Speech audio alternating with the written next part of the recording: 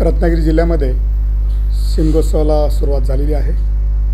त्यासाठी मोठ्या प्रमाणात मुंबईहून पुण्यावरनं आणि इतर ठिकाणावरनं नागरिक रत्नागिरी जिल्ह्यामध्ये दाखल झालेले आहेत.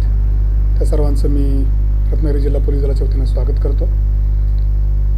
हा शिमगोत्सव अत्यंत आनंददायी आणि उत्साहवर्धक वातावरणामध्ये साजरा व्हावा यासाठी सर्वप्रथम मी रत्नागिरी जिल्ह्यातील सर्व जनतेस शुभेच्छा देतो.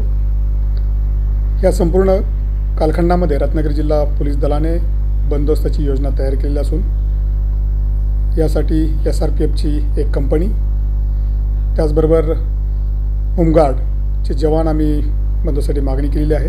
प्रत्येक गावामध्ये प्रत्येक शहरामध्ये बंदोबस्ताची आखणी आम्ही केलेली आहे. त्या ठिकाणी बंदोबस्त नेमला जाईल.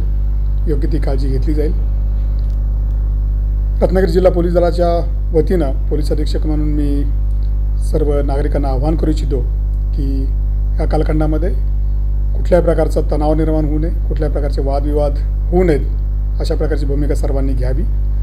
आमचे पोलीस अधिकारी आमचे काही अंमलदार गावोगाव भेटी देत आहेत त्या ठिकाणी बैठका घेत आहेत. आम्हीसुद्धा काही महत्त्वाच्या गावांना भेटी देणार आहोत. आमचे सर्व एच डी पी ओज गावोगाव भेटी देत आहेत आणि तिथे लोकांच्या बैठका घेऊन तिथे जे काही किरकोळ स्वरूपाचे वाद आहेत त्या संदर्भात सामंजस्याने मार्ग काढण्याचा प्रयत्न करत आहेत. शांतता कमिटीच्या बैठका घेतल्या जात आहेत. तर त्या आवाहनाला सर्वांनी प्रतिसाद द्यावा आणि हा सण अत्यंत आनंददायी वातावरणामध्ये साजरा व्हावा अशा प्रकारचं एक इच्छा मी या ठिकाणी व्यक्त करतो आणि सर्वांना पुन्हा एकदा खूप साऱ्या शुभेच्छा देतो. धन्यवाद.